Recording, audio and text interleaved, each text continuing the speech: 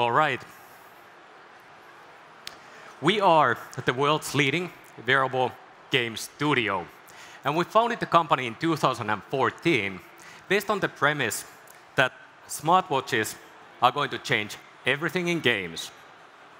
That they are the next big disruption we've been waiting for, and that Apple Watch in particular is one of the most exciting games devices ever created. You see, it is without a doubt the most accessible games device we've ever had. It's always right there. It's never at the bottom of your bag, in the pocket of your jacket, or forgotten in the other room. And because of that, it has a frequency of use we've never seen before in games. Now, in the context of other gaming devices, Apple Watch actually sits on top of the food chain. It is the device we use most during our days because that's the way we receive all inbound communication from our digital lives. Whether you're talking about Facebook messages, Twitter, email, even phone calls, Apple Watch is your primary line of defense, if you will. But as game developers, there's of course another reason why we're so very excited about all this. And that's the fact that we know that it is content that really defines the consumer experience.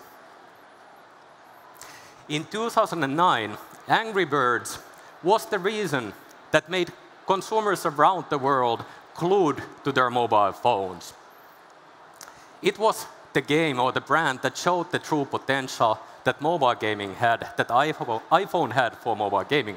And a few years later, games such as Clash of Clans and Hay Day really showed what iPads were capable of as gaming devices. Those were the first memorable experiences for consumers. And now we are doing exactly that for smartwatches and really showing what the potential is with these devices. And it's an exciting market to be in. Right now, even uh, this Monday, we've seen Tag Heuer unveil their titanium luxury model, a smartwatch with $1,500 price point. Just a couple of weeks ago, Fossil announced their device, which is shipping for this Christmas with 249 price point USDs. So there's a lot of things happening in this space. A few words about our company. There's a couple of things that, um, that are different about our founders.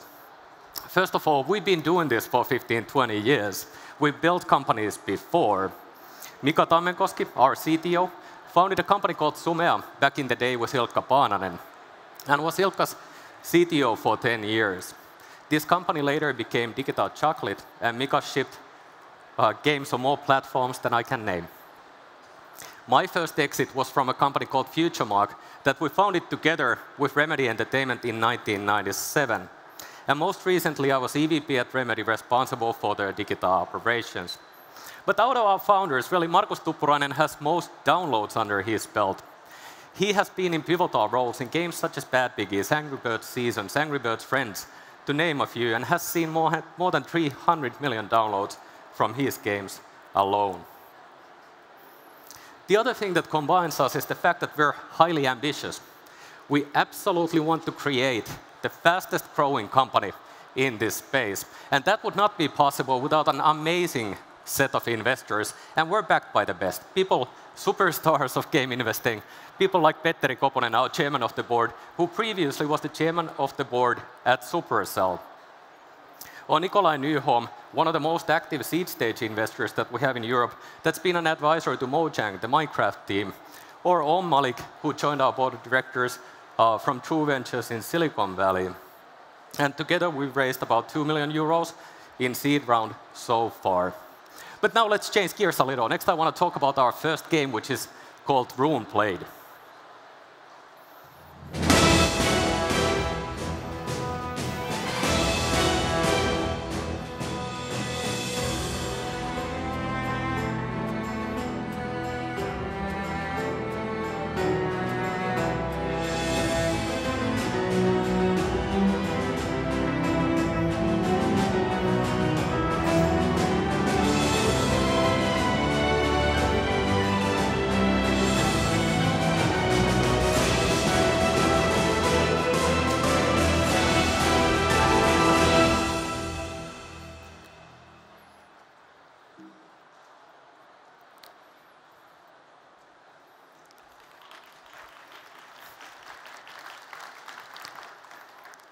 With RuneBlade, we set out to do something new, something different, something that had never been done before in the context of smartwatch games. We wanted to create something more than just a single game. We wanted to create a whole new world with all the classic elements of high fantasy, with cliffhangers and surprises for the players. And in order to do that, we started with a highly, highly ambitious premise. So in the world of RuneBlade, we have a nation of war mages that are placed into an impossible situation. After eons of slumber, their old gods are returning back to their world. But this time they're corrupted and evil and destroying everything. So these war mages sent their champion up north to a place called Forgotten Halls, where this ancient evil lies. And it's up to the player to fight her way through the fantasy lands, wield magic, cast spells, and use magical artifacts. We've done a lot of industry firsts in the context of smartwatches this year, and one of those is our approach to content. Already this January, we scripted our whole year roadmap as one epic season one of RuneBlade, if you will, in a TV season fashion. Each month, we put out a major release which adds more content, expands the mystery of the world of RuneBlade, and offers new things for the players as well as uh, keeps the game fresh for the, uh, the players in the deep end. And this is one of the reasons why Apple has, during this year, featured us for more than 20 weeks on Apple Watch App Store. In fact, Apple selected RuneBlade as one of the key launch titles in April this year. And because of that, the game has received an incredible level of attention from all around the world. More than 1,000 publications have written about it. Publications such as Wired, Bloomberg, Reuters, TechCrunch, to name a few. But it's been a year full of surprises. One of the things we certainly weren't expecting is how engaged our audience is. You see, players of the game have created Reddit forums and wikis about RuneBlade, where they've analyzed hundreds and hundreds of pages of information, each different magical artifact that we have, all their powers. In fact, at this stage, I think it's fair to say that the players know the game better than we do, which is always very unusual for a developer. And the uh, feedback from the players has been phenomenal. 85% of our players give the game full five stars. They send us emails saying that this is one of the best game experiences they've had, not just on smartwatches, but on any platform. And maybe one of the telling things is we often get asked, how is it different to create experiences for smartwatches?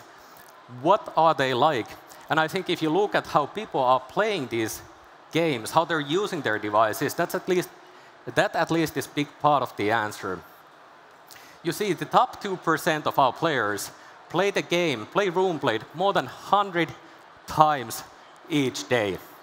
And when we did the math, we realized that these players, on their every waking moment, roughly every six minutes, they drop by to collect treasure, cast spells, or do something with their smartwatches. And we've never had a gaming device that could deliver this level of brand engagement before. So let's recap. Smartwatches are the next major disruption in games.